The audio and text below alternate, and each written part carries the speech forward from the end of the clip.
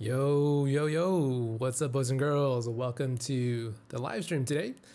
Uh, in this video, this live stream, I am going to talk about some of the newer announcements that Apple just recently announced, as well as the recent acquire of uh, the Realm Mobile SDK, which a lot of people like to use for saving data onto their mobile devices, such as the iPhone here.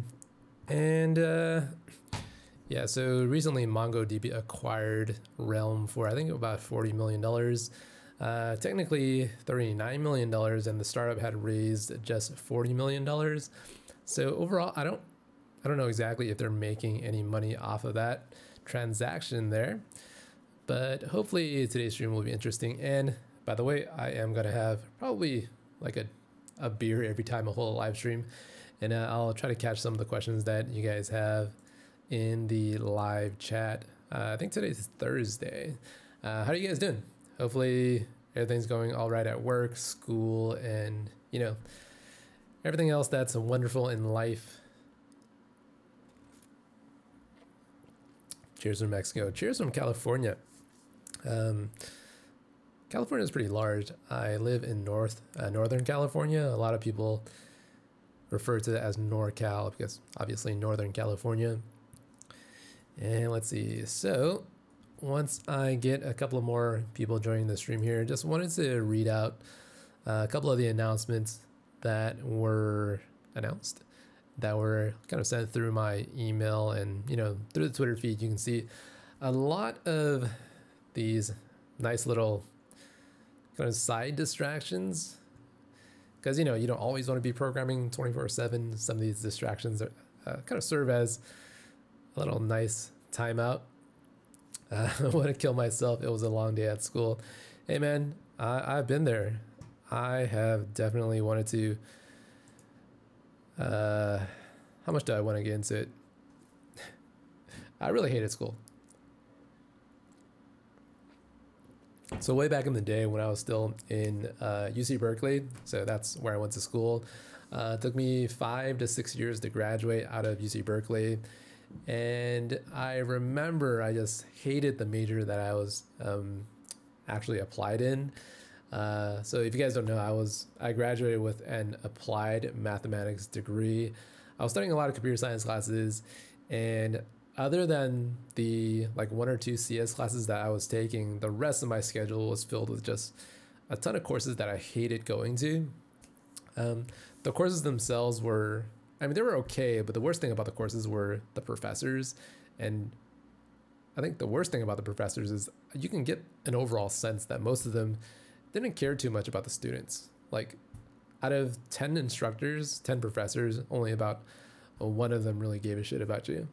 Like, they, they're really in it for um, the research money and the research topics that they can discuss or, you know, write their papers on. Okay, so enough talk. Uh, let's see. We have about 70 people in today's live stream. Um, uh, hello, Simon from Sweden. Uh, is Realm the same as Cloud Firestore? So kind of. Uh, if you guys aren't fully aware of what Realm is, just do a quick Google search. But in a nutshell, uh, Realm is just a kind of an SDK that allows you to save data into a persistent cloud, whether or not it be mobile or for the web, uh, you know, you can access the same data set using that SDK. Uh, it was really helpful. Uh, I built a couple of different very simple, straightforward applications with the Realm SDK. I found it to be fairly easy to integrate within an application. Yeah, a lot of people actually like using Realm too. Um, it's a little different compared to what Firebase has to offer. So Firebase offers you the entire full suite such as push notifications, analytics, crash reporting, and just everything that's under the sun, I think. Uh, Realm doesn't offer you everything, which can be a good thing and a bad thing. Overall, I think it's a good thing. Okay, so now that I have talked to your ear off for the last couple of minutes, let me just go over some of the interesting things that I've been seeing on the internet. So the report is that uh, Apple is to announce ARKit updates at WWDC 2019, including the OS support for AR headsets. Uh, we don't know exactly what that's going to uh, what that's going to entail and what the SDK is going to look like and to what extent uh, the support is going to actually allow you to do. But anyways, Apple has uh, continuously iterated on ARKit, its augmented reality development tool that lets creators make smartphone-based AR experiences. Uh, the company unveiled ARKit at its WWDC uh, conference in 2017. Wow, that was a long time ago, 2017. So roughly 17, 18, you know, two years ago. And uh, like honestly, I haven't really seen any ARKit application really take off uh, other than I guess apps like IKEA. That's the only application that I can really see myself using in real life. And then there are like a lot of ARKit games that are somewhat helpful and somewhat fun to play. Uh, so a report from 9 to 5 Mac holds that this year's WWDC could see yet more new additions, including OS support for stereo AR headsets. So citing, uh, citing sources familiar with development of Apple's new operating systems, uh, the report maintains that ARKit will get a new Swift-only framework. So that sounds lovely. Uh, a new Swift-only framework for AR and a companion app that lets developers create AR, uh, AR experiences visually. Uh, ARKit will also reportedly get the ability to detect human poses. That's, that sounds pretty awesome, right?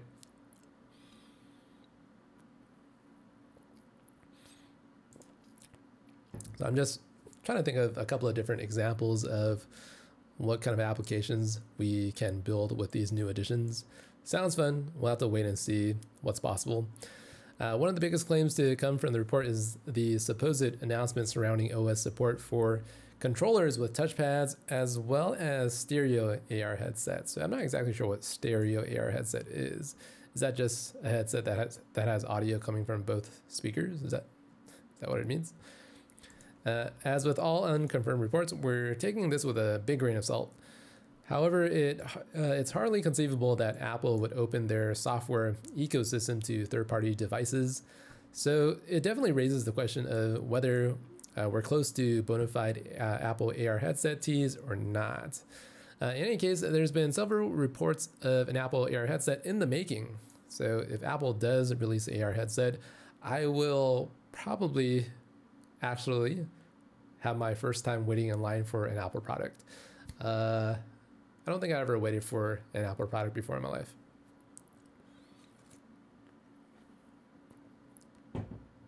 So that'll be exciting. I uh, might have an opportunity to make a vlog out of it.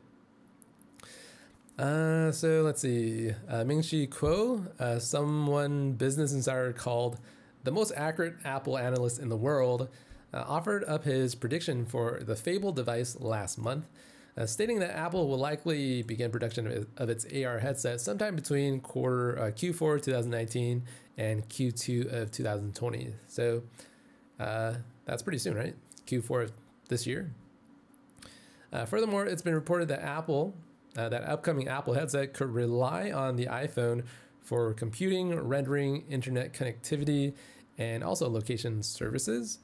Now, this comes as a stark contrast to one of the earliest reports we've seen from 2019 or 2017 by Bloomberg, which posted an Apple an Apple AR headset would be dedicated standalone device, also stated for a 2020 release. So, uh, I guess two years ago, Apple had announced or had uh, kind of mentioned that the headset would be independent of the iPhone.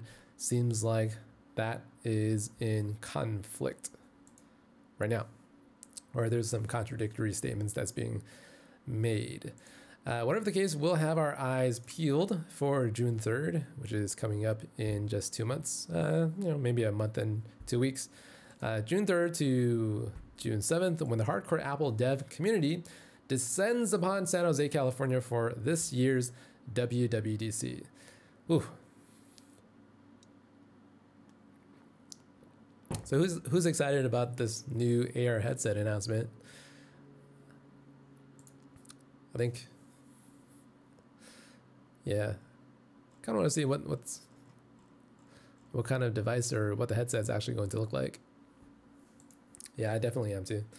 If if they do release a headset, I'll finally I'll finally look into the Apple ARKit SDK and make some applications with it. I think to this very day, I I've only built like two very dummy, uh, simple dummy applications that didn't really do very much. Uh, but yeah, let's let's kind of see what the future holds. All right, so the next story, which is another interesting story, is the acquiring of uh, the Realm SDK guys. I don't even know. I guess they're just called Realm. So, again, for those of you guys that aren't totally familiar, uh, Realm is a, I guess for most of you guys, is a mobile SDK that allows you to persist data onto the mobile, uh, not mobile, but the Realm cloud servers and if you want to access those that that set of data, you can also access it on the web using their uh, JavaScript library. And you know, it's, it's kind of like Firebase, pretty much. So MongoDB announced today that it is acquiring a, realm, acquiring a realm, an open source database geared for mobile applications. I don't know if they're specifically geared for mobile apps, but maybe that's like 60% of their business. And MongoDB announced that they're acquiring Realm for $39 million. So more money than I'll ever see in my lifetime. And hopefully you guys, uh, you know, can build a business that's worth more than $39 million. Uh, the startup had raised just over $40 million before being acquired today. Uh, not exactly a staggering return on investment. So uh, you know, when you're when you're building up a startup, you invest so much time hiring and producing a product, investing time in people, trying to get your business up and running, and ultimately, the thing that you want to do is to make it profitable. Uh, it looks like they acquired or they sold, and it depends on how you look at it, but Realm decided to sell the company to MongoDB for $39 million and uh, I guess they have to pay all that money back to the forty million dollars in investment money, uh, meaning they what made a million dollars? I don't know. What does that really mean? Did, did they like what are the what do the employees get for their stock options if this is the actual transaction? So, uh, the article on TechCrunch goes on to say that it's the kind of acquisition that makes a lot of sense from a tech perspective. I don't really see why, but uh, both companies are built on the premise that data is the center of application development, although they both come at it from a bit of a different angle. With Realm, um, with Realm, Mongo gets a strong mobile solution, adding to MongoDB Mobile. And it also gets the technology, user base, and engineering talent that Realm brings to the table. Uh, Eliot Horowitz, MongoDB co-founder and CTO, sees a company that will blend uh, blend well with us. Uh, Realm and MongoDB are a natural fit because we share a vision that uh, when developers can interact naturally with data, they are happier and more productive. Is that necessarily true? Is that true? Uh, I feel like whenever I'm making uh, building out an application, when the data comes back in a REST API format. That's the format that I like to interact with the most. Uh, MongoDB gives you the data back in like a closure. So you create your model objects and then you make Mongo or you make Realm map that data into your model objects. That's essentially how most SDKs work, or maybe not most, but uh, that's how that's how Realm works, at least.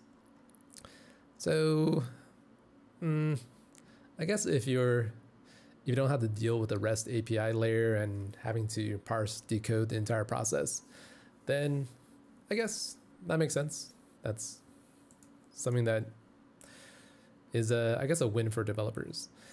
So uh, because our products are complementary. Realm has more than 100,000 developers using its product. Wow, that's more than I had thought. So I remember a while back I reached out to Realm and wanted to see if they wanted to have a like a collaboration where I can do a couple of videos on their SDK and kind of walk people through at least guide people through how to use their their offerings and their products. Uh, I remember I got in contact with the actual CEO.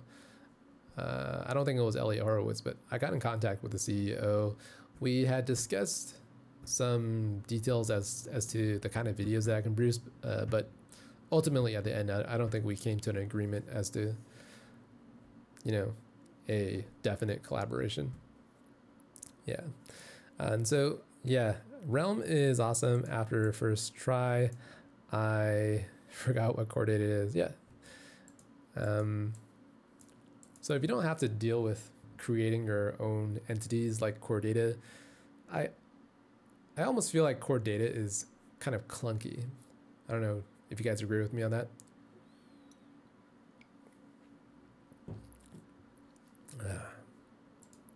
Basically, when I mean, this is my personal opinion, but when you have to deal with a like a second file, such as the core data file, or even for things like storyboard, when I have to switch from the the code view to some other view, it switches context. I don't I don't like that.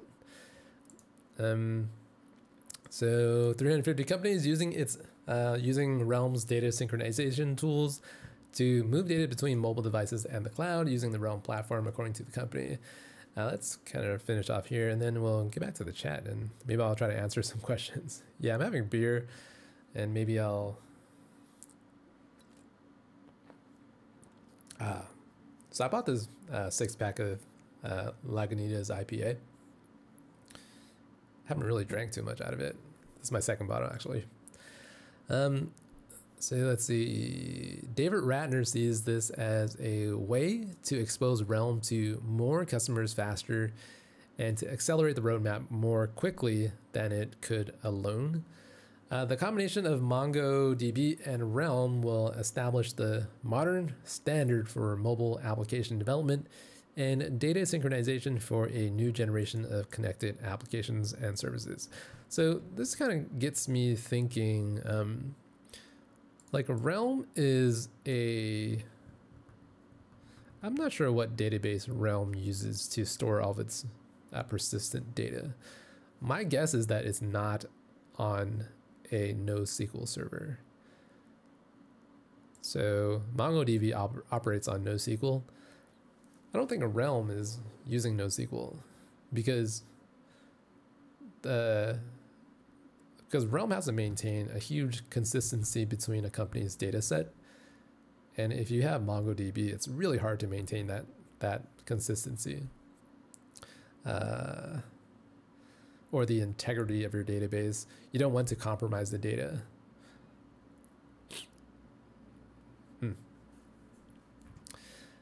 Uh, so MongoDB and Realm are fully committed to investing in the Realm database, and the future of data synchronization.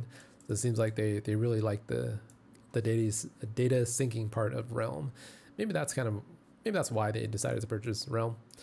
Uh, and taking both to the next phase of their evolution. Uh, Ratner wrote in a blog post announcing the deal. Uh, the deal is expected to close in June or July, and companies are working on integrations and will be announcing details on MongoDB World, a customer conference in mid June. So, interesting here. Um, what do you guys think? Uh, do you have any opinions about this acquisition by MongoDB? Like, even though most of you are iOS developers, I feel like you have played around with MongoDB at least once or twice, right? Or is that a bad assumption to make on my side? Smackaroni. Damn, the buffness. Dude, the sun's out, so gun's out today. Why aren't you wearing a headset? I don't have one yet. If Apple releases the headset this year, so they, they say that they're going to start producing or investing more time in the headset starting quarter two, Q2 of 2020. Uh, so begin production if they actually start releasing it and they start selling this as a product, then we'll see. Maybe they'll release it with the new release of the iPhone 11.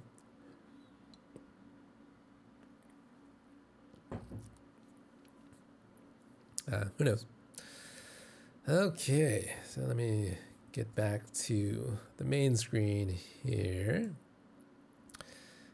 And let's answer some questions today. Uh, let's see, let's see, let's see, let's see. So who's here? Who's here? Mirja?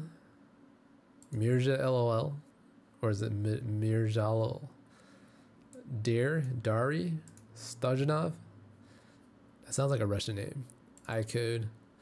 Uh, Alan Madrid, I'm going to guess you're from a Spanish speaking country, from Mexico.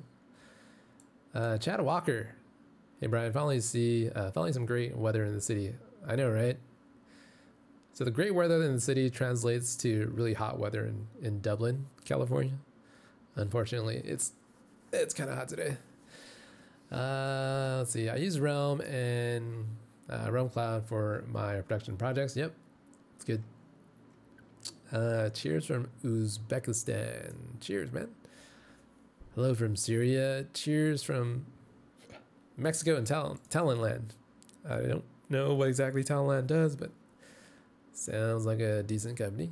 Uh, Belize, SoCal. Uh, have you ever used SAP, uh, SAP? No, haven't.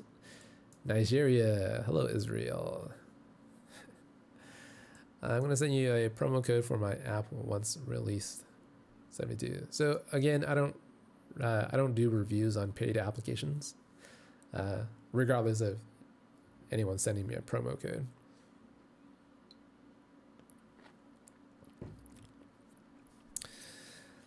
Uh, okay, so these questions are really like silly. What is your personal opinion on cross-platform development and Flutter as example? Will native development survive? Uh, this is like a really silly question. How many times have uh, have we seen cross-platform die out? Right. Uh. Yeah. Okay. 题为我在上班， 偷看中。Uh, well, uh, will you release? Will you create a realm course someday? I don't know. Um, maybe. Maybe. Uh, I probably won't be creating it anytime soon since uh, normally when a company gets acquired, especially a tech company, some of the SDKs will will start to change. So I don't want to create something that doesn't last for at least like a year in terms of the course. It's really hard to update the videos. Uh, Friday came earlier this week. Kind of. It's almost Friday every day for me since I don't really do any work. Uh, why don't you come to UK? So Melissa Ramos, why don't you come to UK? There are many field of jobs that are easily suitable for you. Are there jobs where I can just sit at home and create videos all day in the UK? Uh, CouchDB, let's code. Maybe.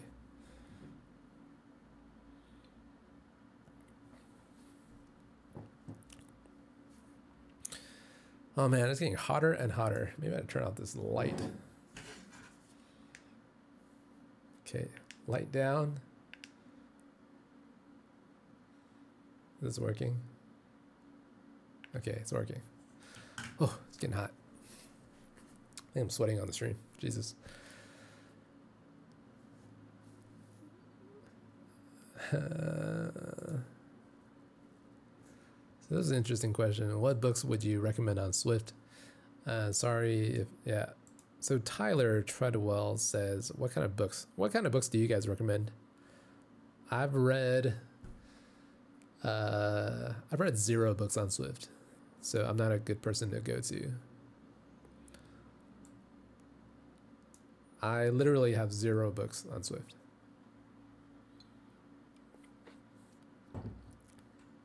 I think I've given my opinion on books before on the stream. And so people people people that are trying to get into development that are like studying some other field, you have to get out of the mindset of of standard education when you're considering programming because programming is very different. Uh, it's almost like the the opposite of standard education where you sit down with a book and you read, read, read, listen to instructor, and then you try to absorb and memorize what the instructor is telling you. Like that is the opposite of what you want to do for programming. Uh, instead, when you're learning how to code, you actually have to do the coding. If you don't sit down and like type out the code, you'll you'll retain very little of the knowledge. So this is why I heavily heavily uh, advise against against books. But that's just me. I feel like videos are, are more helpful than books because you can actually see a guy typing out the code and you can just copy the guy. And it's very easy. And since most things uh, with programming uh, is visual, anyways, having a video guide you along as to what the code does visually is uh, super helpful. And I'm not just saying that because I produce videos.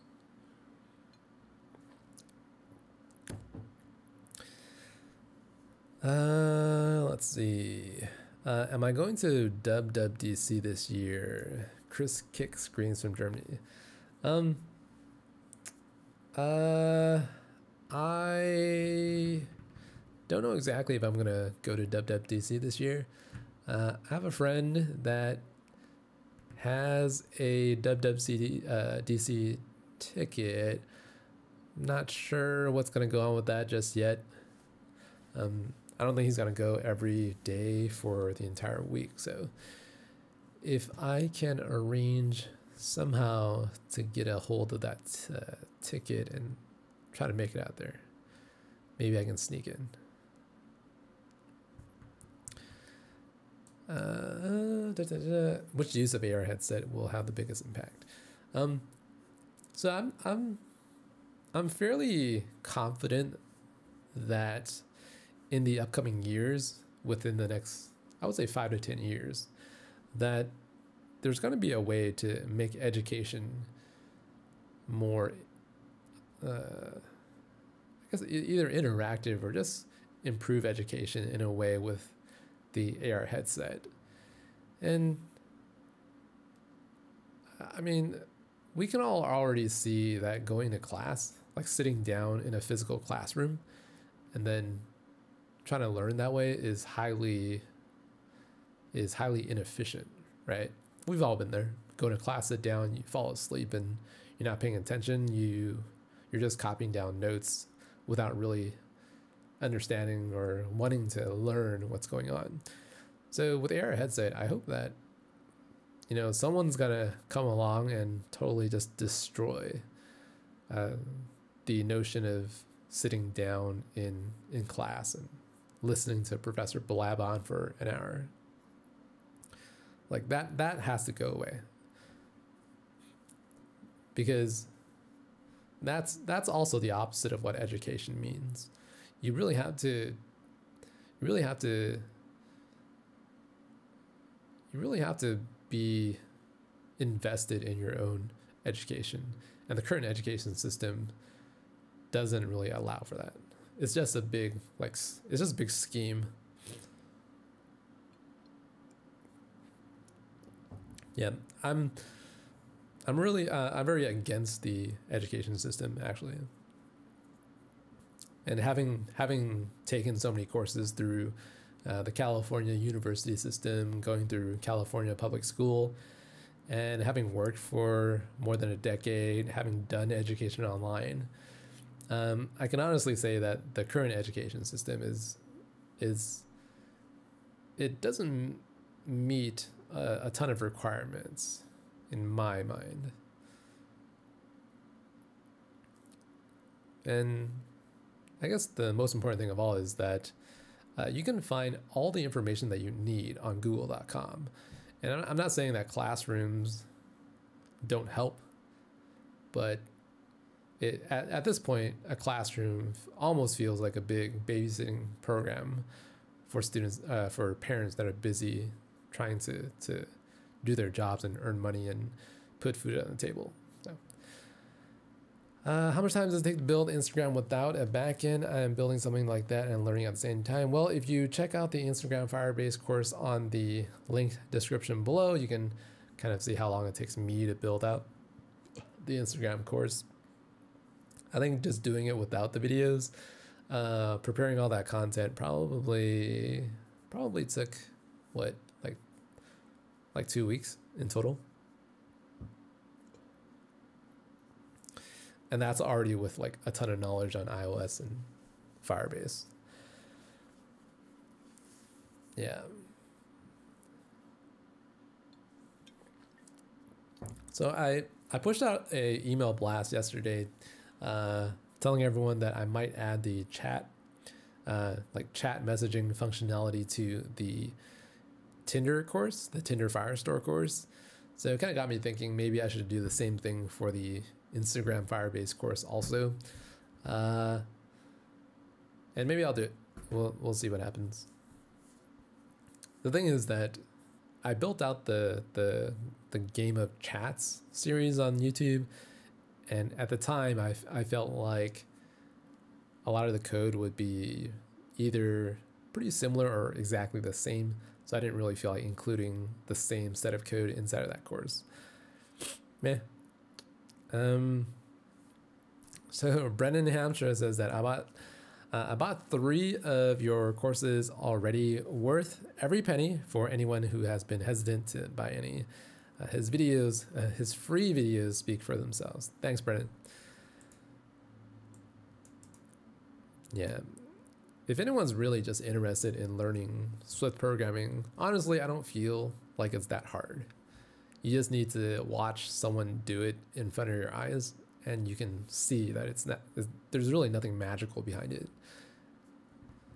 And uh, yeah if you want more videos definitely check out uh, courses in description below. Uh, how do i become ios dev without books? So never cute. So honestly anyone in the chat right now answer this question how do you become an ios dev without books for anyone that's like a decent developer, they'll tell you that they never rely on books. And if you if you come from the mindset of like traditional education, I understand why you would expect books to help, but uh, traditional education is just a business that kind of perpetuates this lie of selling you books. If you get out of this mindset of thinking that books are actually important, like books are not important. Everything's free on the internet. You don't have you don't need a book. And yes, if you guys uh, don't know it already or can't get a sense of it, uh, education system's kind of a, rip, a ripoff. So, you know, you go to you you go to higher education, you pay two hundred dollars for a book. That that's crazy. I remember doing that, and then like just copying the books and like going to the local copy machine stores. And I, I remember the professor specifically specifically told us to do this where uh, he would actually have a copy of the the actual book for the entire semester. And i think the professor made physical copies of the book himself and then he he printed out multiple copies for every student in the in the lecture and for the students that didn't have the book, he would just give out the the pages of the book. Now, I don't know if that's legal. I don't think the professor is I don't think the professor is allowed to do this. But that's what he did because he also felt like um because typically what happens in a school system is they release books every like 2 to 3 years. And what they do is when they release a new book, the the school has to uh, update the syllabus to use the new book. And then the new book doesn't really have a whole lot of changes. They, they just shift the chapters around and change the text here and there with some corrections and you know minor stuff like that. And they sell you the new book and they say that oh yeah you can't use the old book which is 95% the same exact material. And then they uh, yeah this entire whole system is broken and the professors know it. So some of the good professors actually help out the students and say, okay, don't buy this book. I'll just help you photocopy the necessary material, save yourself $150. Pretty awesome.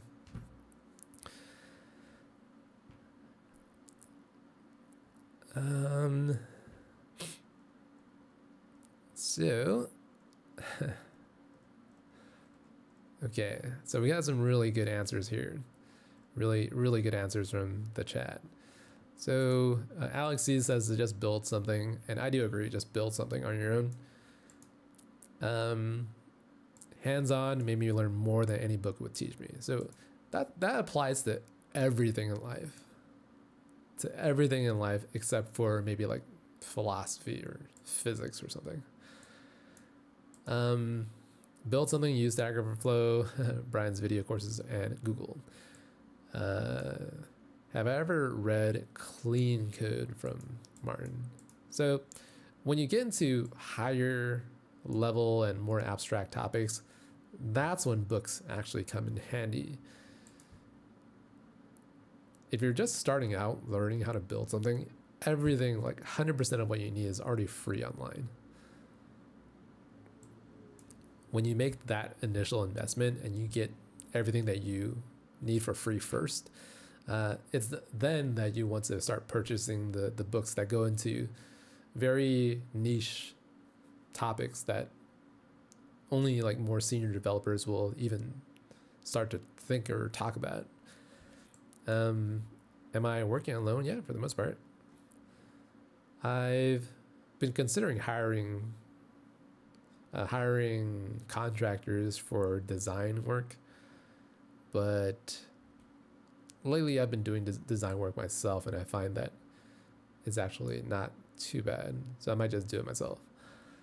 Um, David Kisby says that uh, I never bought a book to learn any programming language. Uh, everything I know is thanks to Google.com. So, Google.com, the best professor, the best teacher, the best everything in the world is Google.com. They do some strange business practices every now and then, but for the most part, Google's the best thing to uh, to happen to us. Who knows? Maybe they'll they'll be the uh, they'll be responsible for the destruction of humankind. It's possible. It's totally possible that Google.com will be the reason why humans get wiped off the uh, the face of the planet. Uh, container view controller, a better way to use it for reference of Android fragment.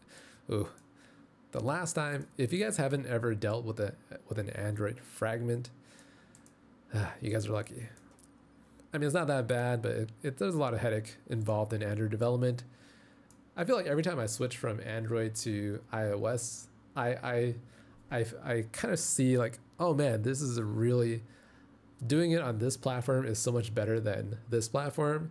And then i i start to flip as i as i work more and more inside of that language. Like ios is be- the best thing right? And then you start programming using android and you realize how much there are certain things that are just so much easier. And then you start seeing the flaws of android and then you go back to ios and you know it's a constant flip-flop uh, join a program to teach hands-on. Yeah, hands-on. Um, all the way, hands down, hands-on. That's uh, my answer. Uh, can I connect a remote MongoDB directly without a central server? Yeah, I mean, as long as you have internet connection, anything's connectable. Uh, would would I want to do that? Would I want to expose my MongoDB to the client like that? Probably not. Like you would have to open up the the like the client would have to hold the password and the login connection credentials. I, I I wouldn't want that on my client side. It's a little scary if you think about it. Uh, let's see. When can someone consider themselves a senior? I don't know. That's a pretty, that's a really abstract question. It's really general. Uh, I'll I'll leave that up to you guys to answer. What do you guys think a senior developer? What qualifications does a senior have that's that's different from a junior or mid level? You know, chances are, if you're asking that question, you're still a junior developer. Uh, books are okay for reference, but not so much actually learning a language. Yeah, agreed. Agreed. Looked up different interview experiences from people applying for junior senior jobs that gave me an idea what to expect. Yep.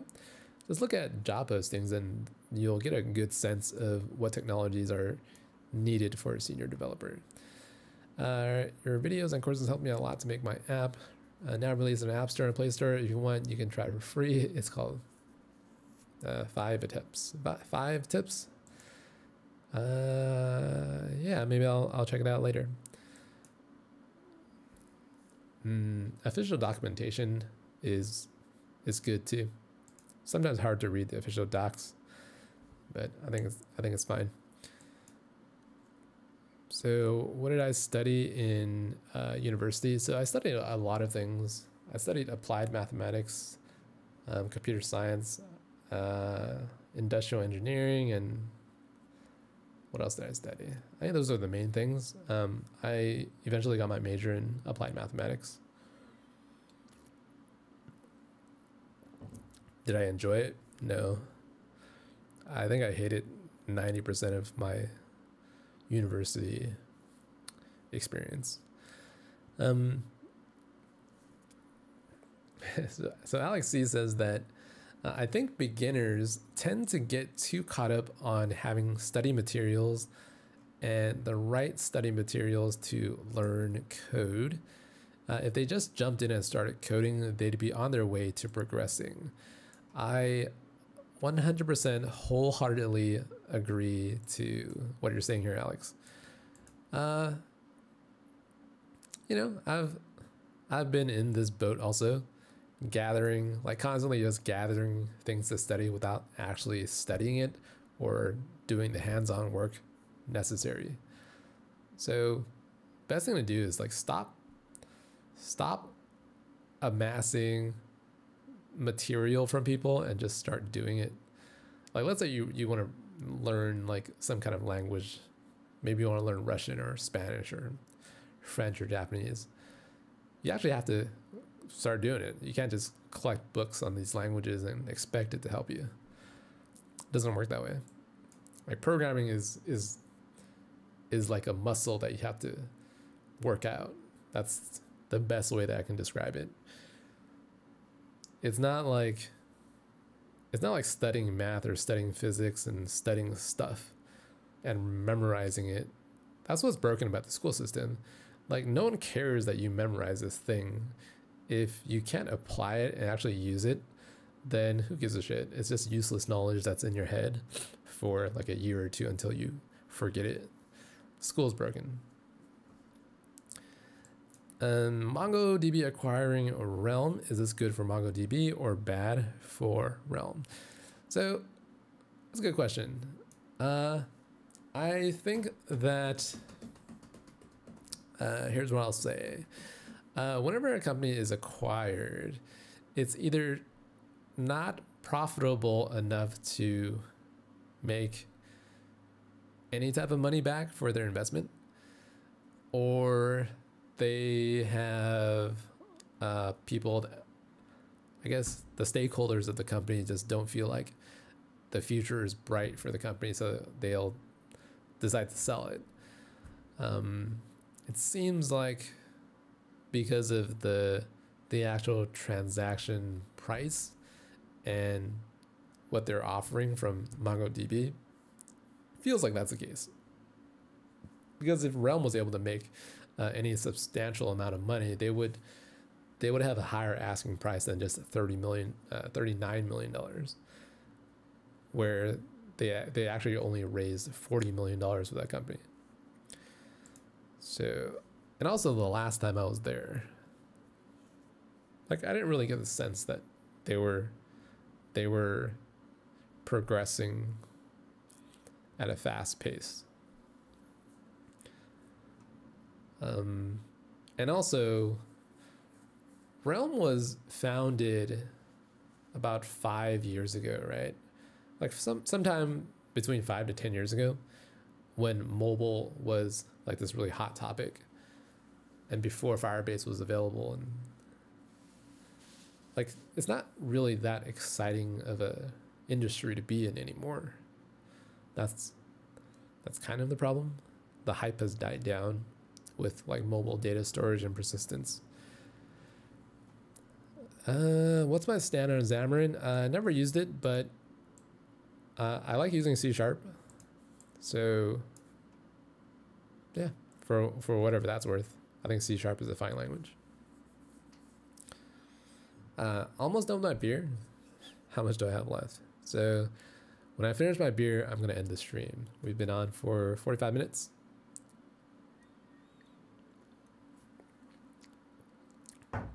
Uh, I recently bought a bunch of stuff for uh, recording, I guess just recording equipment in general.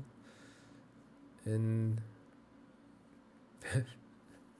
it's not like this really helps the stream or helps the, the recording process. Well, what has helped is this boom mic here. So you guys can't really see it, but this is on like a, a microphone stand. And yeah. This actually does help. But I bought this new light that I'm not sure does anything. Uh, it just makes me extremely hot when I turn it up. Uh, what are my thoughts on cross-platform frameworks? Do you think this could ever replace writing native code? It's amazing how many people come in and ask this question. I guess I, I did make that video on Flutter, and it's pretty popular on the channel. I, I kind of wish I never made that video because this question just comes up so so frequently now. Yeah, I kind of wish I never made that video. um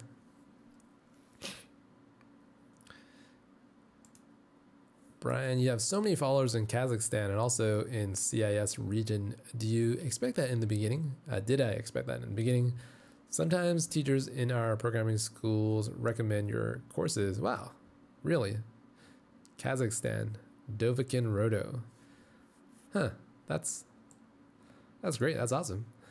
Um, I know a lot of people, like a lot of people have taken the courses. The website does really well. That, but that's what allows me to just sit here and keep on producing more videos. And uh, initially, uh, I don't know. Do you guys want to hear my full YouTube how I got started story and what my my ultimate um, initial motivations were?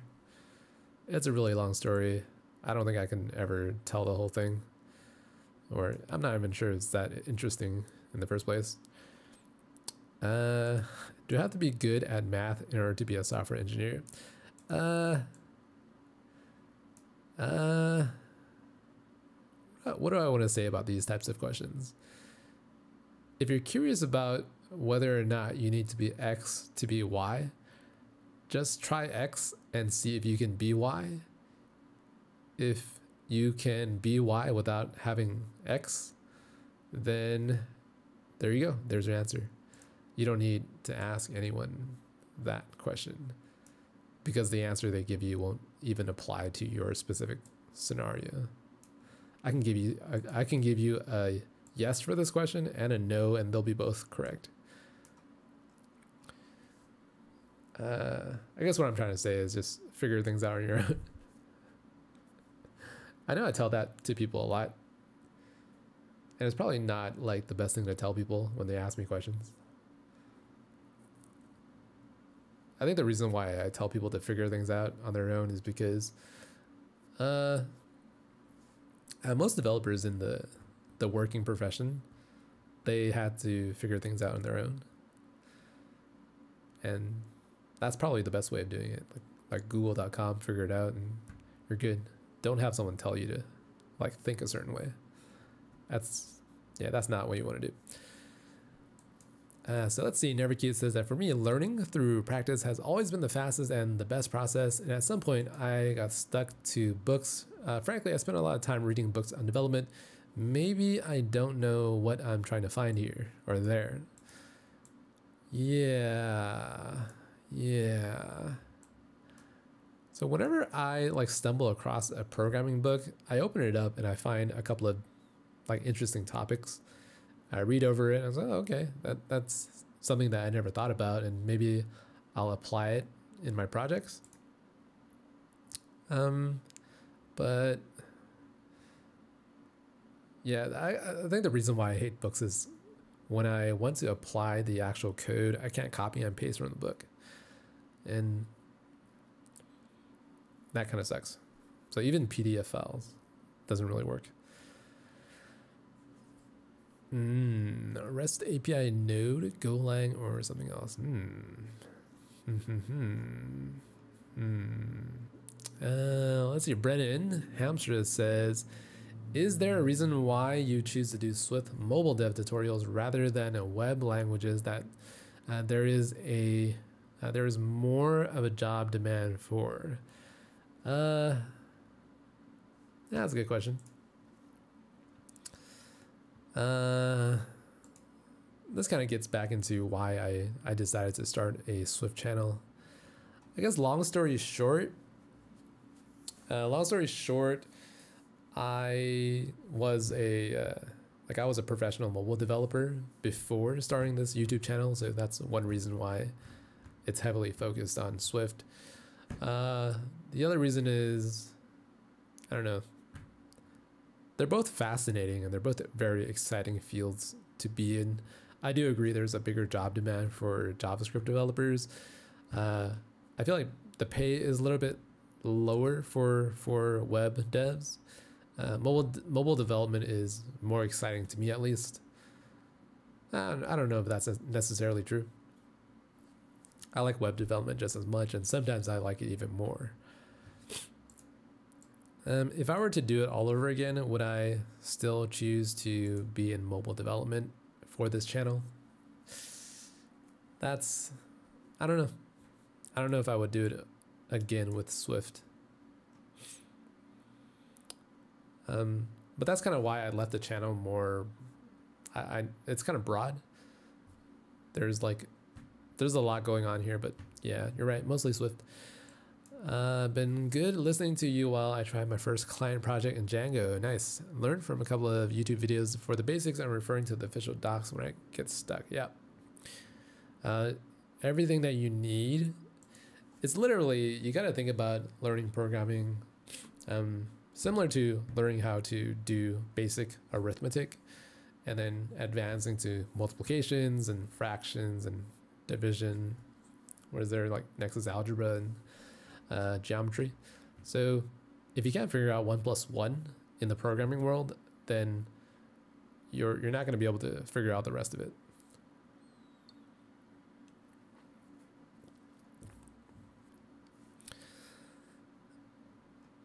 Uh,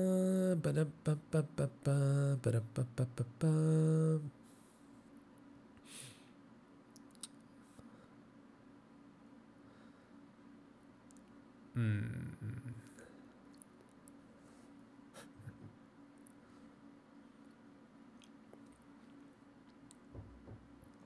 Uh, Sir German Guzlan Thorson. Am I am I pronouncing that correctly? Uh, the best teacher does not tell people what the answer is, but where to look. Indeed. Agreed. Uh, tried out server side Swift before. If yes, which do you prefer most times? Uh, I prefer neither.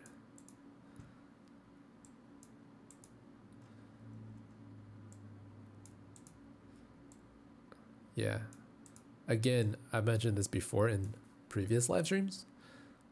But if you want to learn backend, don't don't learn Swift backend. Honestly. It's much easier with other other tools. And everything in the the Swift frameworks like Perfect or Vapor, you'll see this comment a lot.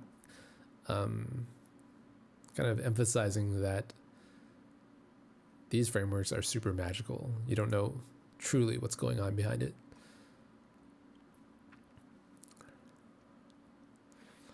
Okay, so Kayla C. Um, Kayla, I, is that a female name? Um, so Kayla says, I attended a boot camp a couple of years ago, and it was such an evangelist waste of money.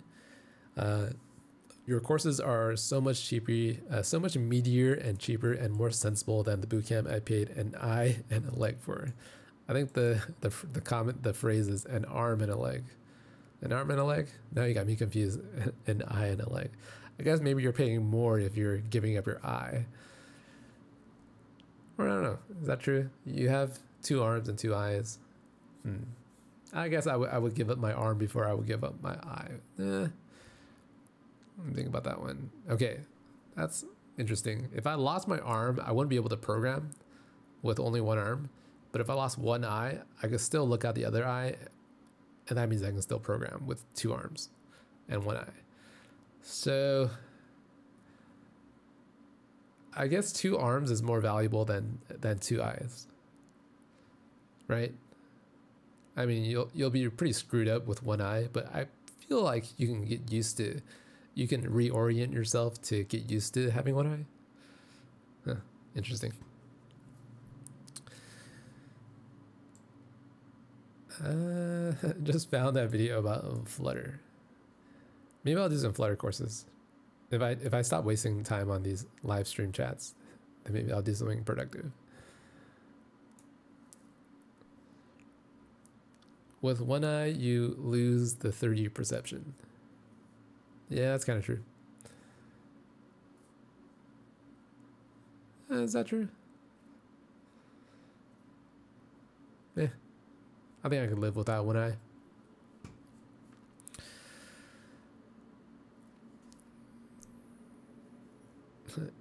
Odin gave up one eye for all the wisdom in the world. Yeah, I think I might do that too.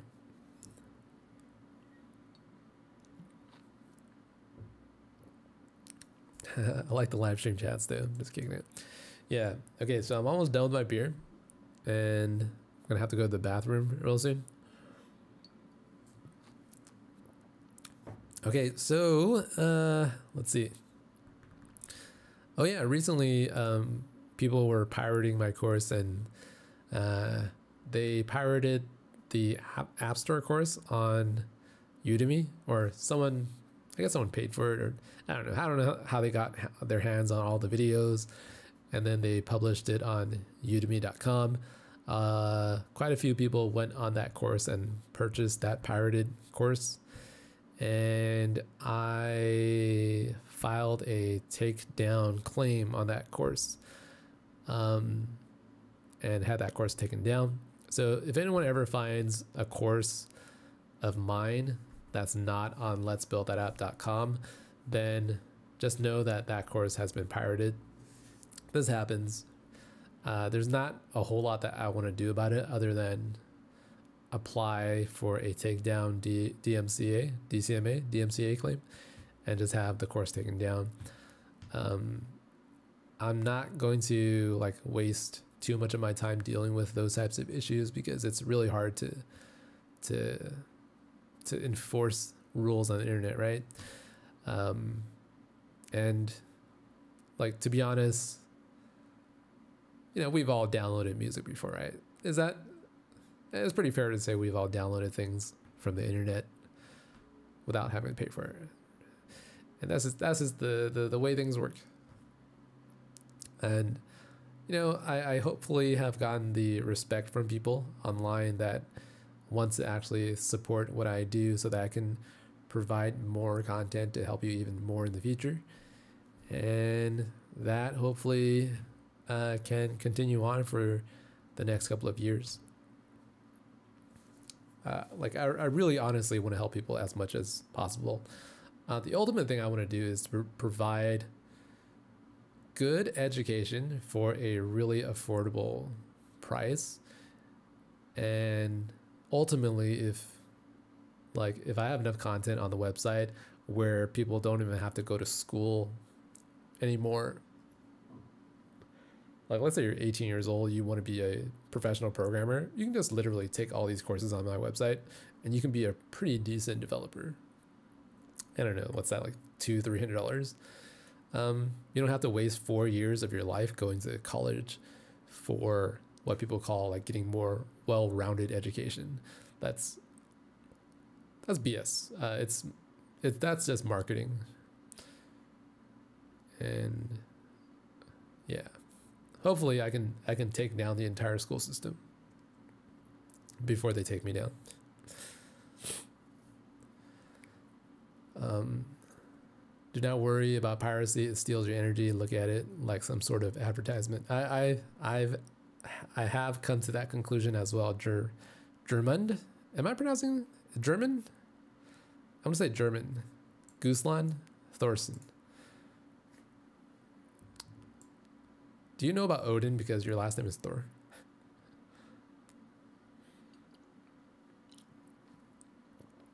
Odin is the god of thunder.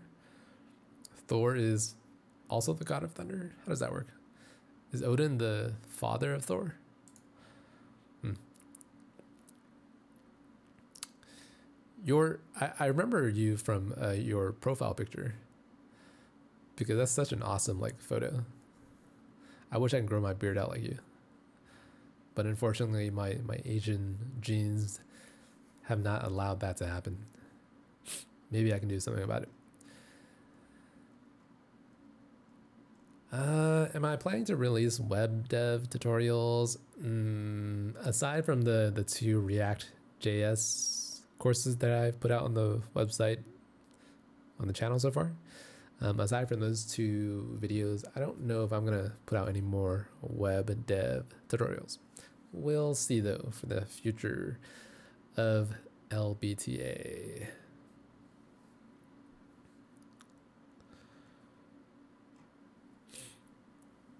Mm-hmm.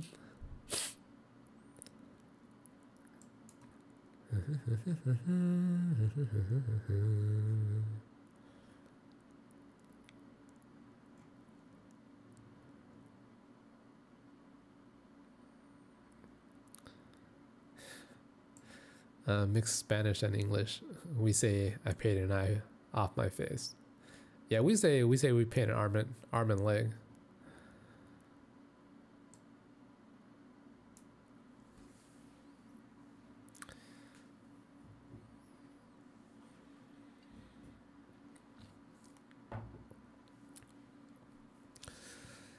Oh, German warrior of the world, Gooseland, fertile grounds, Thorson, son of Thor.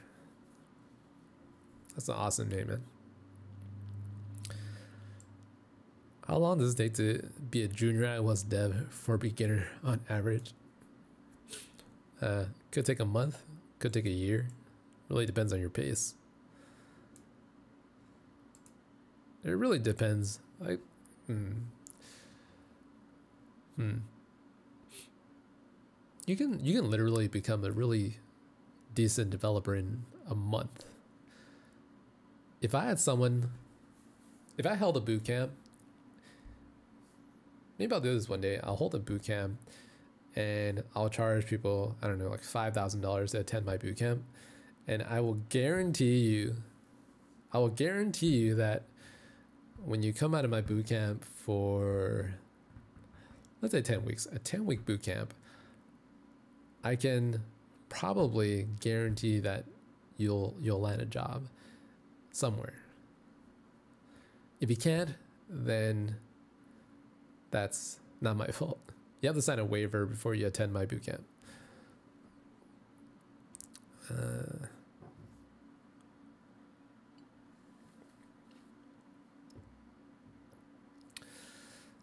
Uh, do I have any paint Android tutorials? I'm thinking about releasing something similar to like Instagram Android. Do you also think that everyone can rely on Firebase? Uh, mostly not. Like Firebase is useful and I've taught two to three courses using Firebase. But to be honest, if you want to fully rely on something to support your entire company, I would say Firebase is a good first step, and then eventually you will need to move on to something else. I'd say that you should do things with Firebase first if you don't know a, a different type of backend programming language, and then move on from there. You don't want to waste your time and money on hiring a backend person if if you don't have any users.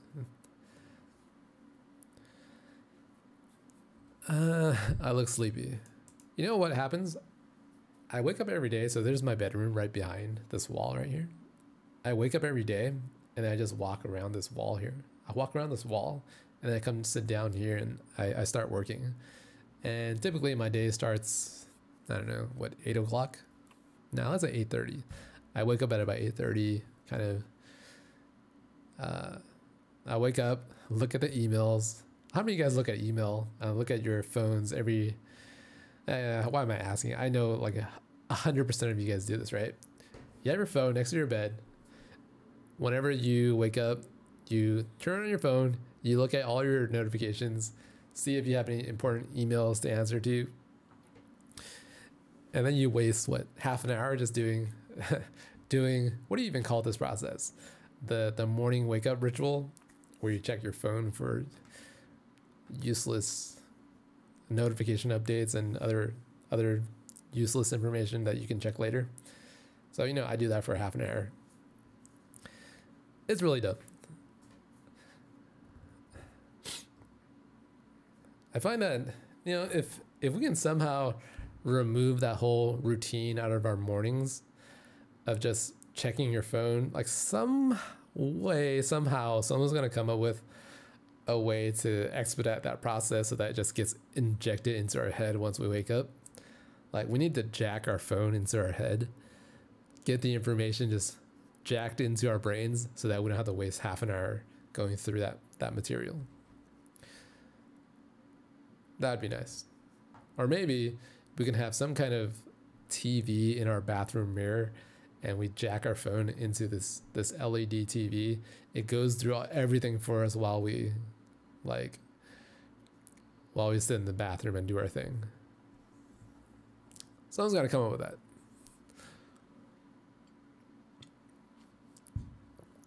Do a video on how to sort section by date and time using core data. now the beer stocking.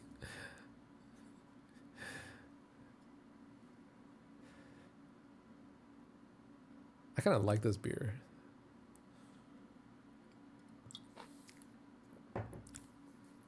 Mm.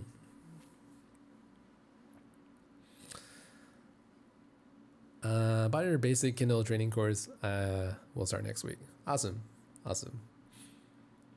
You know, you can start all of the like the the videos on this channel are also super helpful.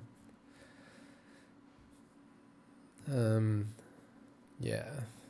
One thing I'll say is that I uh, how do I put this?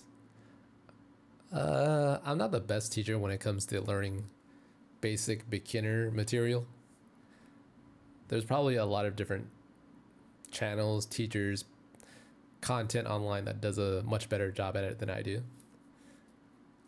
Because honestly, I don't like focusing. I, I don't like. I don't like telling people how to put a button on the screen. It's it's kind of boring for me.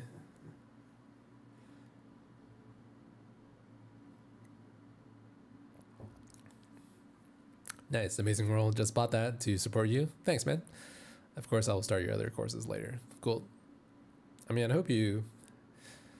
I hope you make it through. I, I know that I don't explain.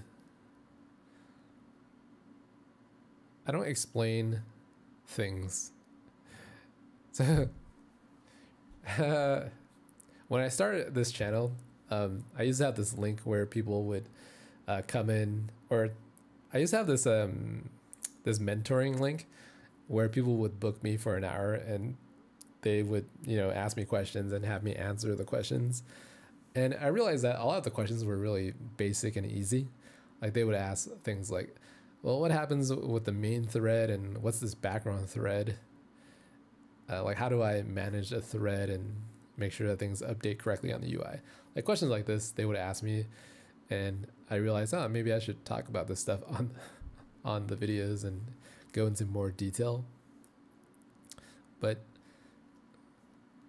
I feel like if you're watching my videos, you mostly you most likely know this stuff already. So I like to spend my my time talking about things that have never been talked about that much before.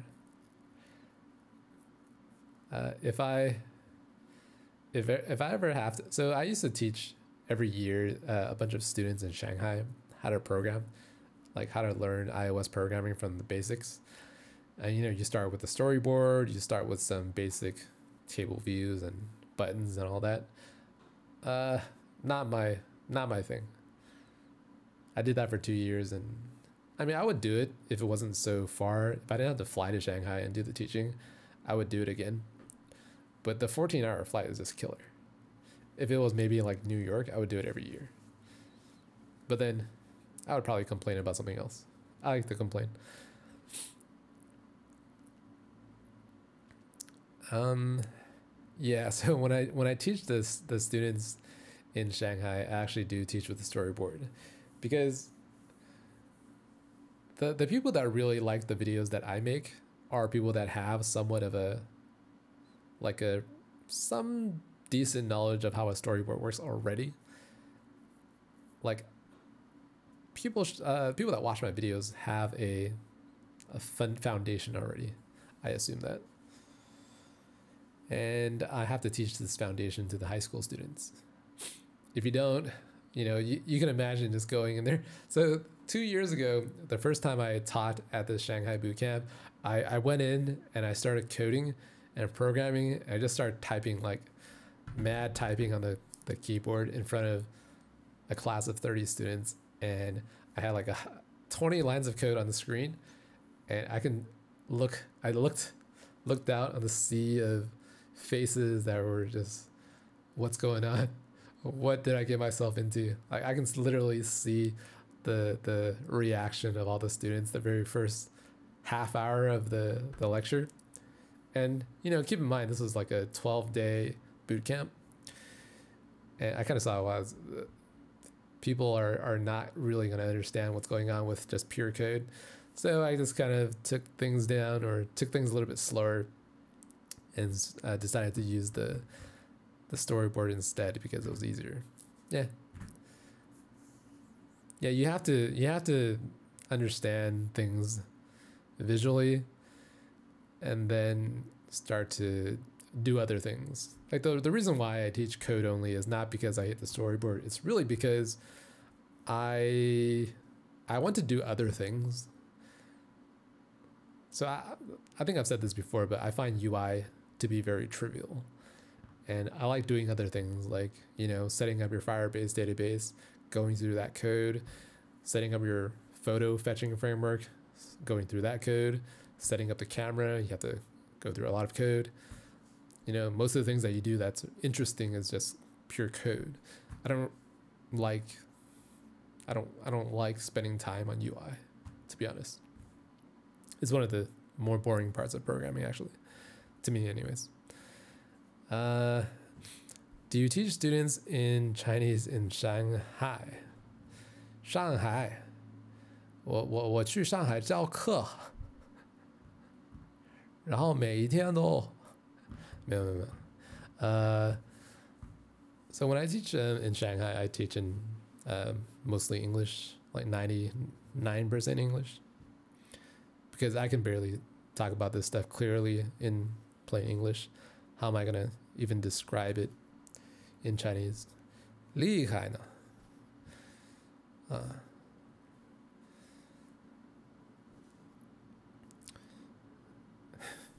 Lihai. If you guys want to learn some Chinese, Lihai means like awesome or that's awesome, dude. That's what that translates to. Can you guys tell that I'm from California? I say dude a lot. Do I say dude a lot? Dude, man. I say man a lot. That's a California thing I, I, I would expect. Uh,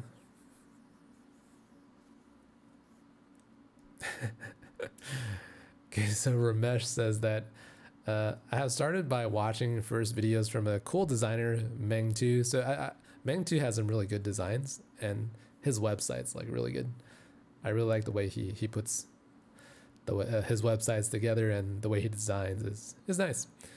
Uh, and so you bought, so you went, so you took the videos from Meng To, and yeah, he teaches storyboards. Then I bought the App Store course, and from that day, I hate storyboard. Uh,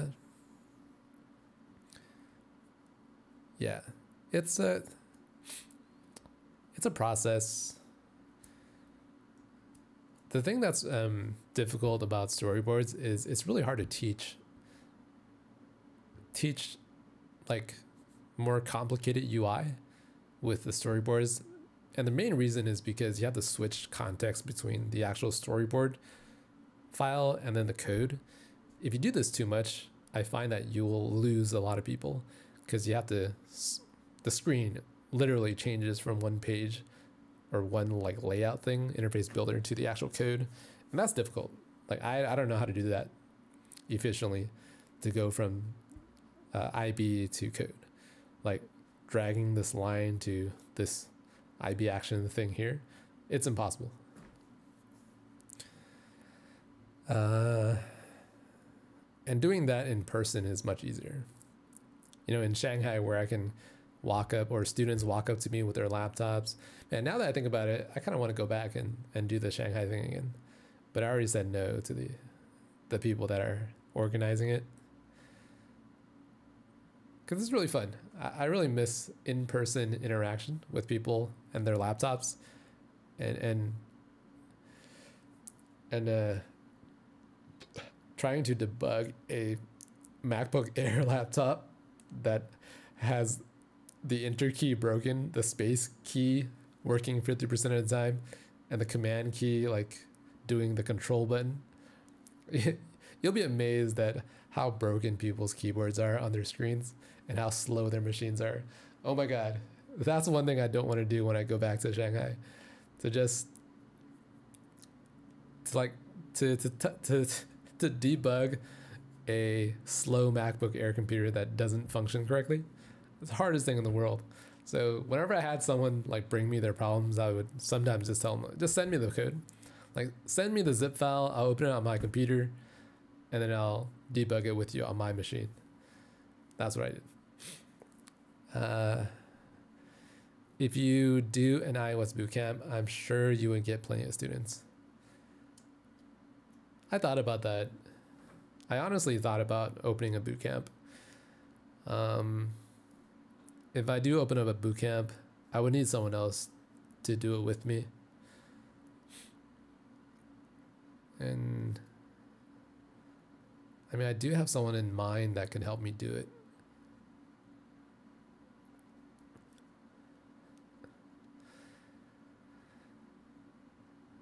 Uh, do an in class, uh, in person class in the Bay. How many people would actually show up though? I remember when I started this channel for the first year, I I held three meetups, and it was good. It was good turnout. We had we had at least twenty people per meetup, which is pretty good for a coding meetup.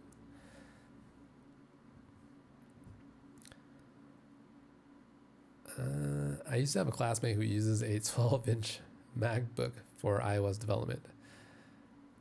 There's nothing super wrong with a 12 inch MacBook. It works. I've seen worse, like a, an 11 inch MacBook Air.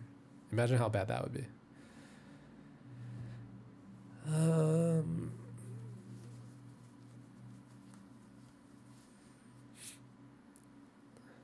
yeah, so it looks like German has some XML translation tool for storyboards. Interesting. Uh, what about Sean Allen? He might help you. Uh, I think he's busy though. He has a full time job, so he's pretty busy.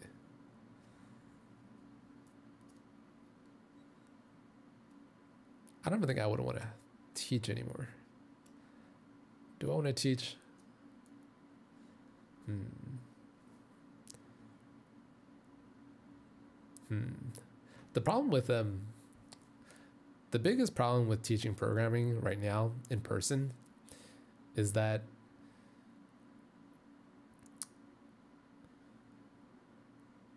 what I want to say? When you're teaching in person, you can't pause the video. Like you can't pause the teacher and you can't rewatch the, the teacher teach the certain parts of the lecture that you didn't follow, right? So I find that not being able to just pause and digest the information that's that's a huge issue with in-person lectures and that's kind of why video platforms have taken off you know you can watch a teacher either slow him down pause him follow along speed him up all of these options help learning so much. And i use these features all the time. Like i'll watch someone program i'll pause the video look up documentation follow on someone else's video and then go back to the first one. And you know there's so many different things that you can do while you're sitting in front of a computer. And if like if there was some way to make it easy to teach in person and then also record the content so that you can have it for later uh, playback for the students. That's that would be ideal. That would be ideal. Um, could you do like an intermediate or advanced bootcamp only which would maybe make it more fun for you to do since it's devs who already have a base knowledge? So here's what I would do, and you can feel free to steal my idea for for my vision of a bootcamp because it's it's not that easy to implement. And I think it would be awesome. It would take off. You would earn like millions of dollars if you can do it correctly. So the idea behind a really good bootcamp is all you have to do, it's really simple. All you have to do is provide some kind of provide a challenge for the students. This is intermediate to somewhat advanced, like developers already learning Swift, right? So we don't talk about basic shit like how to draw a button and how to do auto layout. We don't talk about that stuff. All I do is I provide you with a, an API, and the API is going to be something like uh, like a Snapchat API, uh, a Facebook API, a Instagram API, and this is a REST API. It comes back in JSON data format, and we will probably have like 20 to 30 endpoints. And for that API, I just give that to you and I tell you, okay, starting from day one, you have to build out the entire Facebook application, make sure it works, everything loads correctly. You have to handle the loading phase, the no internet connection, uh, everything under under the sun. You have to understand how to implement correctly, and you have to do it on your own. If you have any questions, then you have to come to me later with your questions, and that's it. And then I just sit back and watch you kind of struggle through like three weeks, four weeks to integrate the API, make sure that everything looks correct, behaves correct, and is smooth, doesn't hang, no freezing the UI. Uh, make sure that bad connections are handled. And that'd be it. That'd be the bootcamp. And if you can't get a job after you pass a bootcamp like that, then I don't know. I don't know what else I can do to help you. The other thing that's like a like what will really hold you back is these data structures questions. All right. So I've just finished this beer and I'm on the lower floor of my apartment. So there's two two stories, and the fridge is up there. So I don't feel like going up there and grab another beer. So I think I'm done. I don't want my handheld. Brilliant because uh, that struggle is what is going to force you to learn exactly. Um, so before the boot camp, before students can actually enter the boot camp, you'll have to sign a waiver, and the boot camp is, I would say at the very minimum, I would charge like five thousand dollars for this boot camp and at the max, maybe like ten to fifteen thousand dollars per student. We'll have to see. Uh, you know, whatever makes sense for for my time. And then you just have to build the app. It's really, it's literally let's build that app together. And the real thing I want to sort of uh, bread, beer, mixed gas. You know, it does. this type of beer doesn't really do that too much, but uh, I can't say that I, I haven't experienced that. Go and grab another beer. We'll wait. Uh, have you got time to review a weather app I wrote? It's on GitHub. Feel free to point out my errors. Uh, I don't know if I want to do any reviews, especially after I just had my beer. You know, you, you get into this different mood when you have alcohol in your system. Maybe you can, you guys can tell already. Uh, when you plan to put a new course on your site, I mean, just code without the whole videos. So,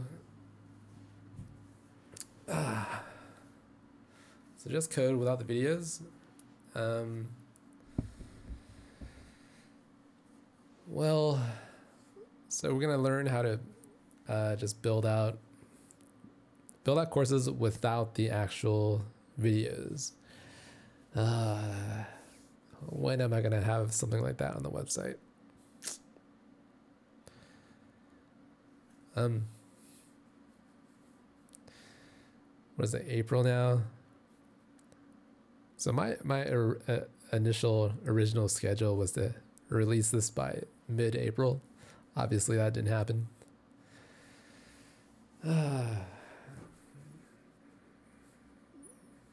so many things to do, so little time.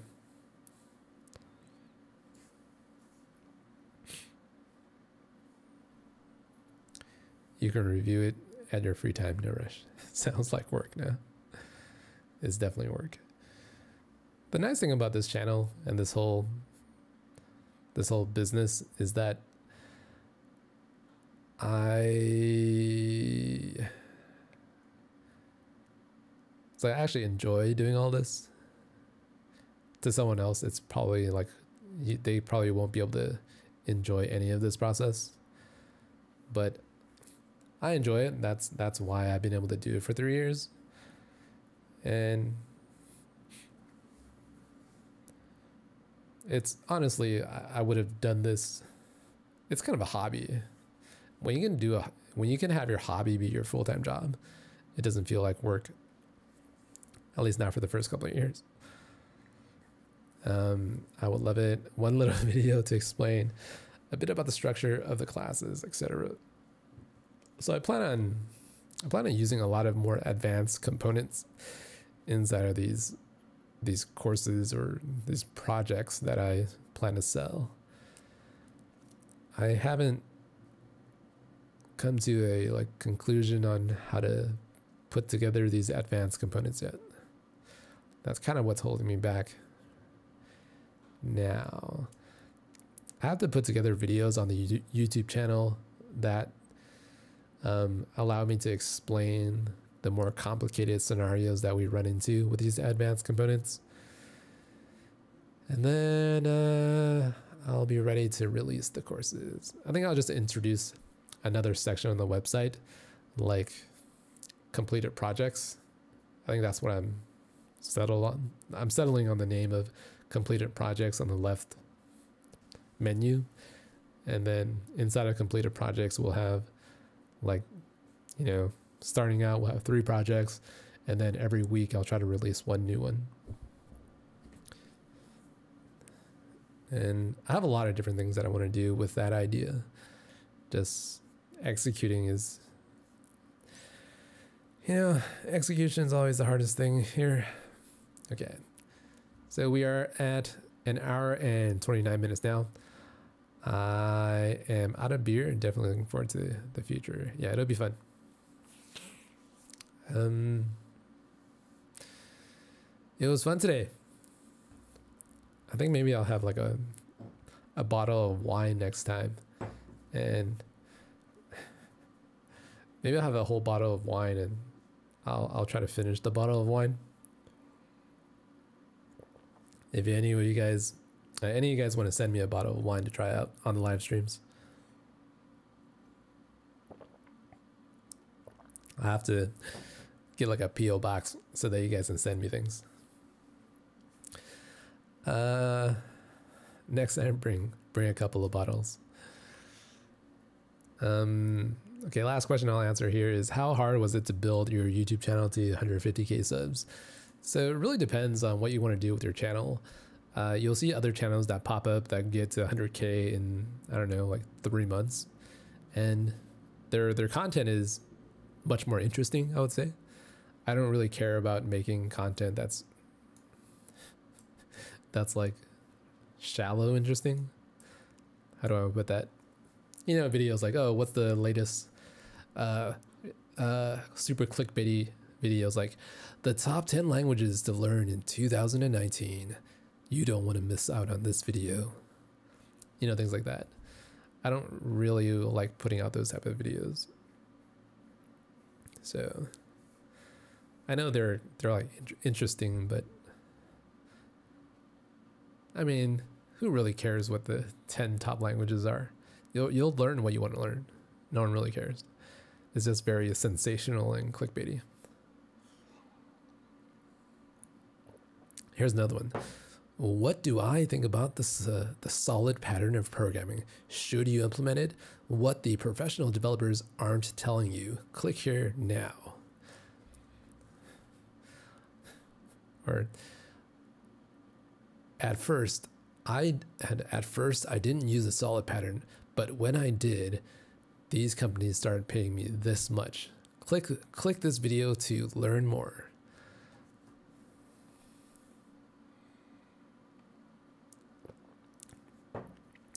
I used a program in native Swift, but the moment I switched to Flutter, I was contacted by Amazon, Google, Microsoft.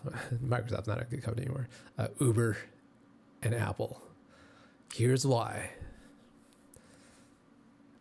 So I was, you know, after um, uh, after April Fools this year, I, I came up with these ideas to make these troll meme meme videos and next year, okay, I'll make a video like that next year on, on April 1st. So now that you guys know what to expect next year, we'll see how many people get like f- fooled. It'll be fun.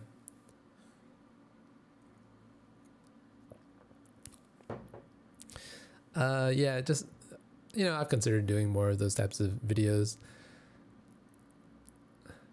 Uh, the thing is, I'm really bad at writing scripts, and I don't like script writing because I'm, like I said, bad at it.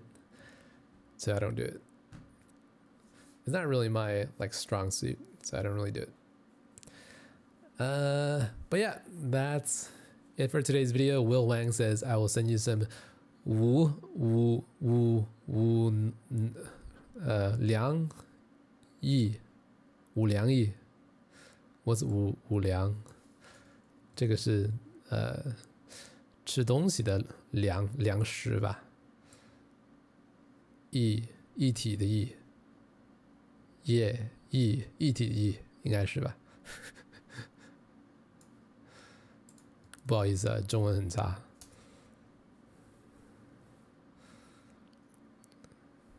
五粮液，这个是液吧？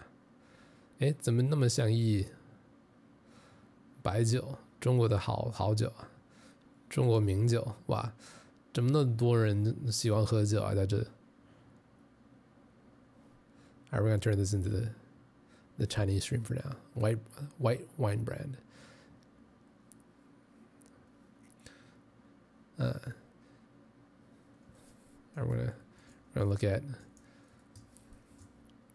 we're gonna look at a uh, Chinese wine for for the rest of today. Wu Niang, Wu Liang, Wu Niang. All right, if you guys are interested in Chinese wine, here's here's what you got to get. 五粮液这个是意吧？是意还是意啊？业意，不是一体的意吗？哎，怎么中文那么那么那么差啊？中秋月圆，五娘一夜与你。a new epoch of prosperity and boom. 新时代国运畅.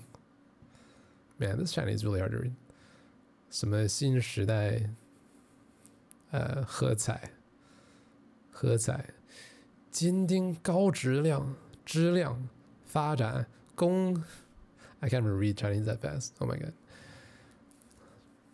液体，not 液体。How do you write 液体 then? Oh my god. Okay. New tab. New tab. New tab. Okay, nothing too embarrassing here. 呃液体，液体，液体吧，液体，液体。哼，我还真以为是液体呢。台湾读液，大陆读液。哦。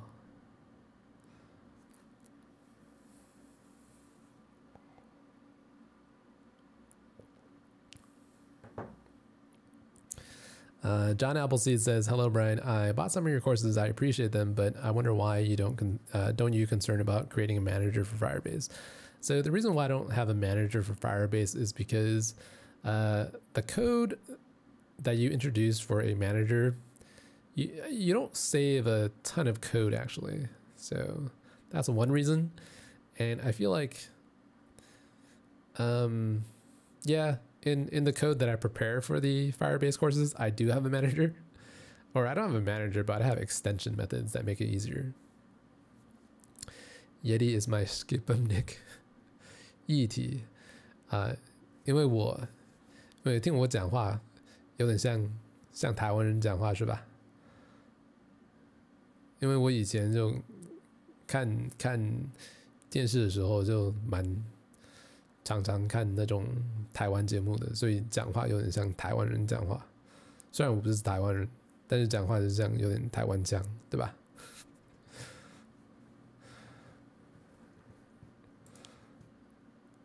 呃、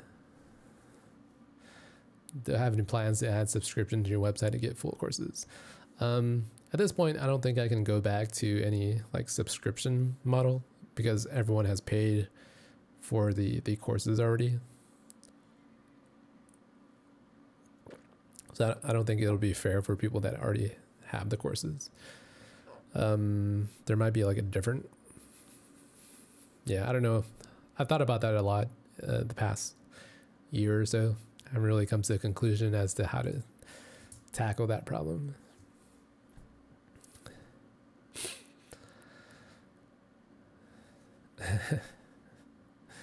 Looks like I need to start learning Chinese to understand the end of streams. Yeah, maybe.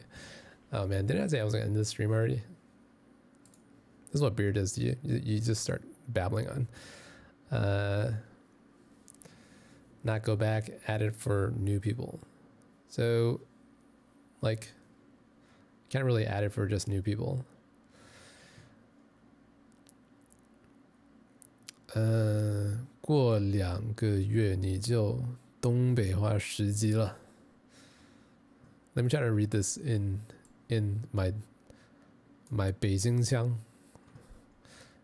过过两个月，过两个月你就东北话十级了，东北话十级了。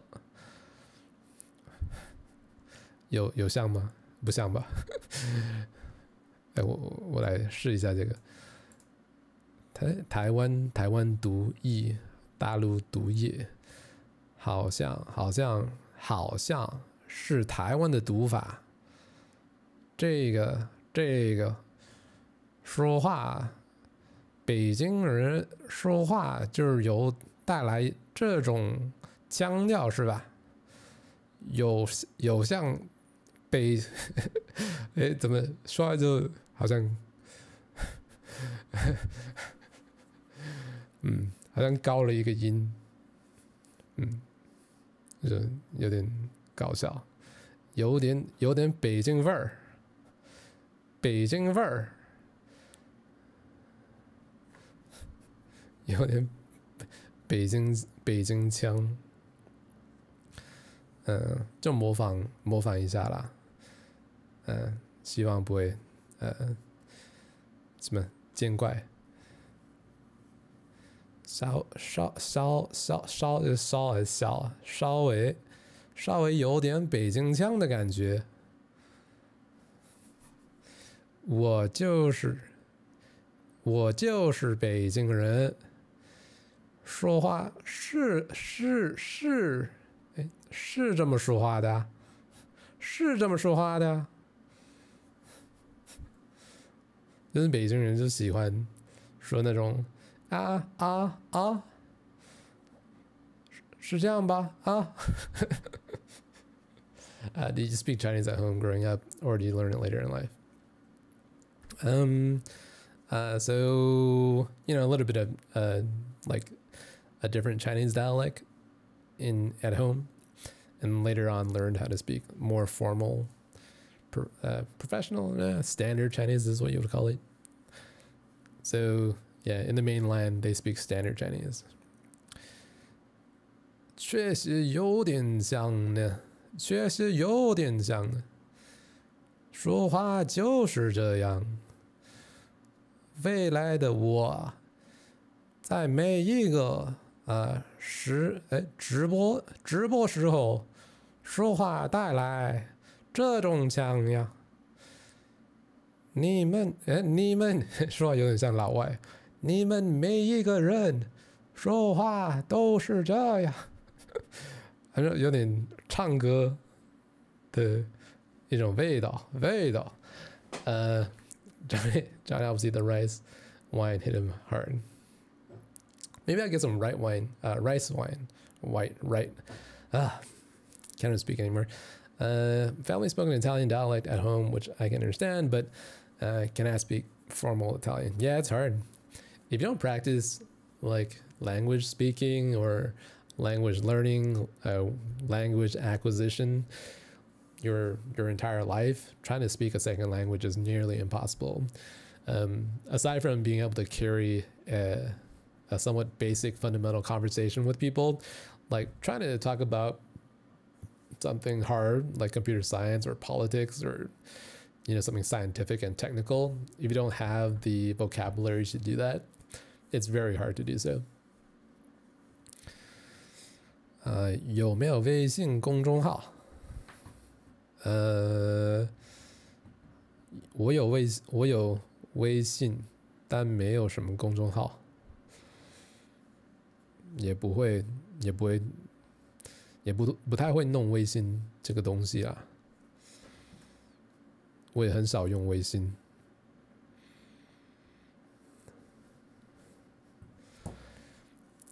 Uh, especially when the conversation gets really fast. Yeah.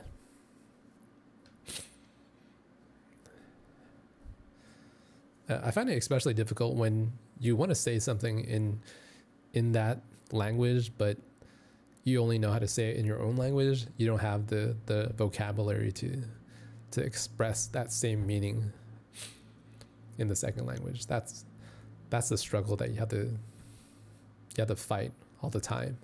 Knowing how to say one thing in language A, but translating is difficult.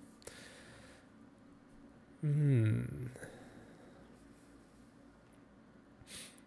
This looks hard to spell. Watch this channel to learn iOS development and improve my English.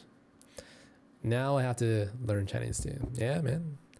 It's a never ending thirst for knowledge. Speaking of thirst, speaking of thirst, what do I do to quench my thirst for liquids?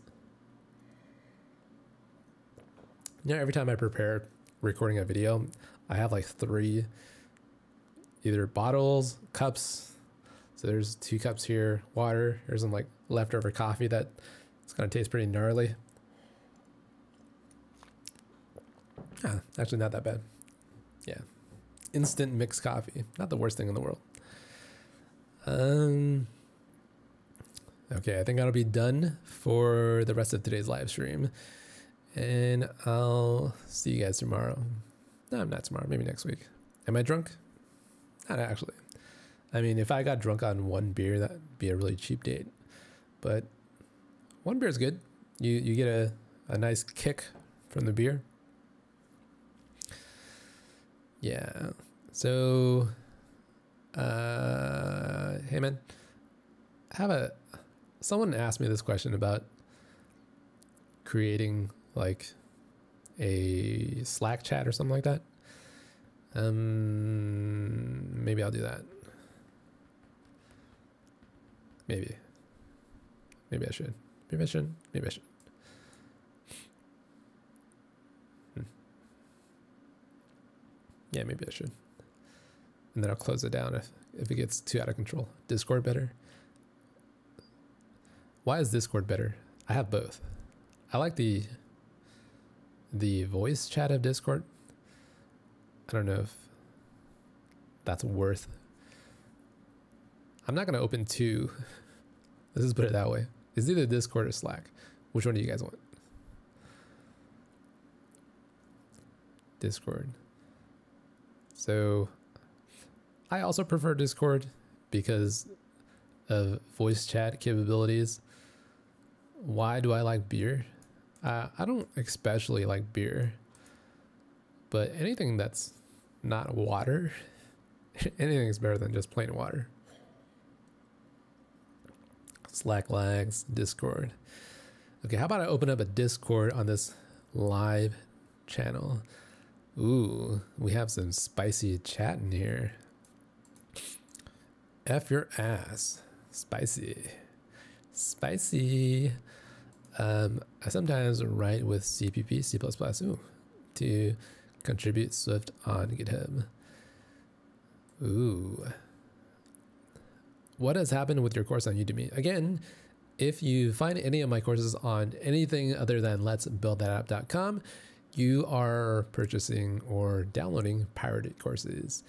So hopefully you can support me by not purchasing those items on other websites or downloading any content that's not on the website at Let's Build That App. Let's Build That App.com. I really do appreciate it. Uh, I had uh, the course on Udemy taken down because someone had pirated that course and uploaded onto that platform. Udemy responded with that um, with the takedown promptly within five days. So I do appreciate their cooperation on their end. And that's where I'm at right now. All right. Um, I will consider opening up a Discord chat. I'll see how it goes. And then, um, yeah. And then, like, I don't have time to answer too many questions. That's, and I don't really feel like answering questions does a whole lot.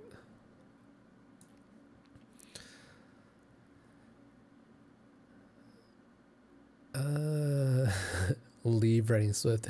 It will end up being a blue collar job. Um, well, if you believe that, I would suggest that, uh, you know, there's there's a lot of different things that you can do after you learn Swift, right? You can just program in some other language. It's like ninety percent of the ideas are the same.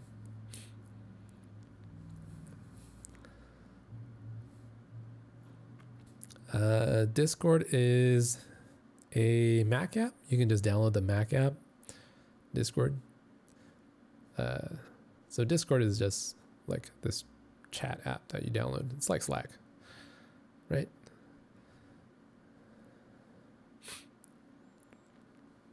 Yep. So Alex Maverick uh, definitely does seem strange since, yes, I do not upload to Udemy. I don't want to have anything with to do with Udemy you guys, uh, you know, do your thing. There's probably a lot of good courses on Udemy that you can benefit from buying, watching, and just you know consuming that content. But I, I don't want to be enforced by Udemy rules. Okay, so, uh, uh How do I even open a Discord chat? Okay, next live stream, I'll announce what the Discord chat link is, and then I'll let you guys know what, what the Discord is. All right, so that's going to be it for today. I will see you guys again next Mm, next week. Yeah, that's it.